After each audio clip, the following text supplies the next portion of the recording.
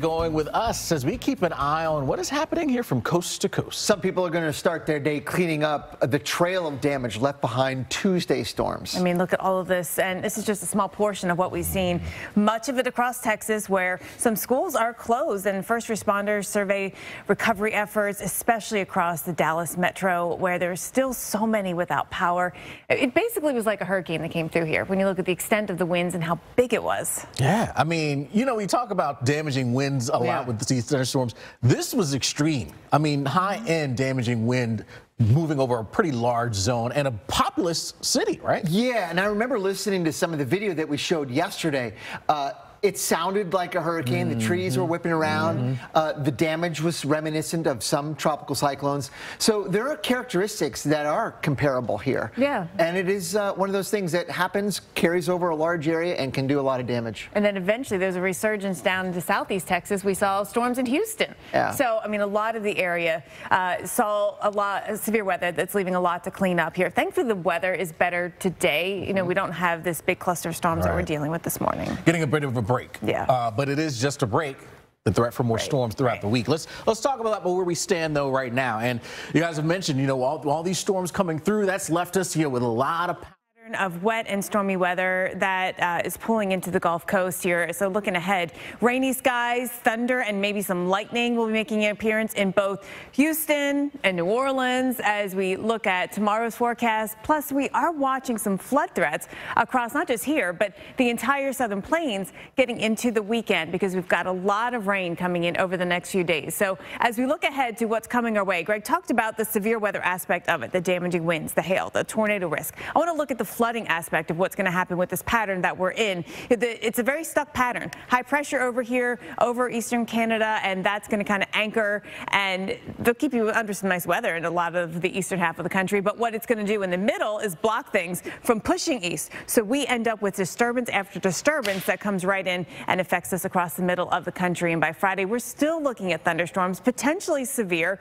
watching across a lot of Texas up into uh, Arkansas again and Oklahoma as well, and even Louisiana. It's been very rainy already so far this year, and now we're going to bring in more rainfall. This is the forecast through Friday. Widespread areas getting several inches of rain on top of what we just saw, too. There were a number of areas yesterday that had readings of seven inches of rain, especially in North Texas there, after the rainfall from yesterday. And now we bring in at least another two or three inches of rainfall. That's just through Friday, watching that extend all the way up through the central plains. This is on top of a very wet year to date. Dallas, you're running your third wettest year to date. Monroe, Louisiana, you're a top three or top two year to date. A number of spots. Beaumont, another one here. You're within the top three wettest years to date. It's been a wet one, no, no doubt. Uh, interestingly, I was checking some of the dry spots, like down in Del Rio, Texas. We're our second driest year to date. Not even had an inch of rain so far this year. So who's going to get the rain this week? It's going to be a lot of those haves who, who those who have already gotten the rainfall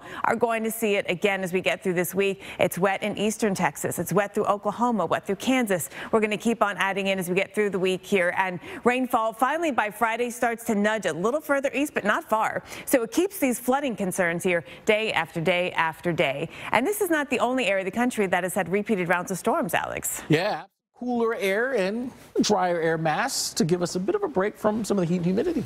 Well, while we were talking, you know, of course, we weren't listening to your forecast. Uh, that's a But we were actually. watching. We were watching, Oh, but not nice. listening. No, we were actually talking about the system you were tracking through Yeah. the Ohio Valley North. It's a clipper, pretty much. It is. If- If, this was January, Yes. we would be dealing with a bit Yes. of the flight We got a flight big stuff flying trough on the. East Coast. Yeah. The summer, that? it's the summer clipper. Yeah. Well, from Coney Island to Orange Beach, there Yes. are. But how do you know it's bad? Yeah, is that's the question. Because sometimes you, you don't know what's lurking out there, right? Whether You it's must sometimes there's sea creatures that you can't see with the naked Marine eye. pests, you know, Marine jellyfish. pests.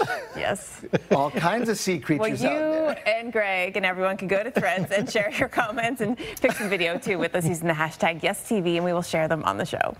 It is an over the Steel City and much of the Northeast. It has been a dreary few days here in Pittsburgh, and today, no different. Waking up to some fog as you cross the Roberto Clemente Bridge. Uh, that's going to give way to some rain. That's uh, going to drench the Keystone State.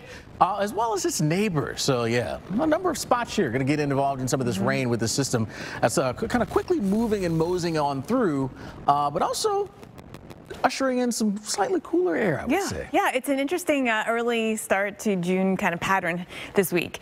Uh, it's, it's been a wet month for the month of May here through the Northeast. It's been a wet year for some of you, Virginia Beach and Norfolk area coming in with some of their top wettest. But all of us have had a decent amount of rainfall. So now as we get ahead into this last week of May, the beginning of June here by the weekend, we've got more rain coming in, but it's not going to be the heavy rain like we've seen. Yeah, we're not looking for heftier downpours out there. Most of the rainfall that we see in these areas will add up to less than an inch of rain out there. But nonetheless, there could be some pockets, a storm or 2 mm -hmm. that dump some heavier rain, and that could trigger a flash flood very isolated in nature here. Yeah, we were comparing this to a clipper earlier yeah, yep. in the show, and you know, you think about clippers, they in this wintertime, they bring snow, but usually not a ton, right? And so that's kind of how the system will be. It'll bring rain, not a ton. Somewhere there might be some overachieving rainfall that could lead to some flash flooding concerns. Where you see some of the yellows on the radar, that would be the spots getting some heavy rain right now, but it's not everywhere. Yeah, exactly. Again, very far and few between uh, in terms of that. And so you'll watch how that all progresses east as we move our way through the day. So eventually filling in down towards D.C. later on as we get closer towards the rush hour, heads up there, Baltimore as well,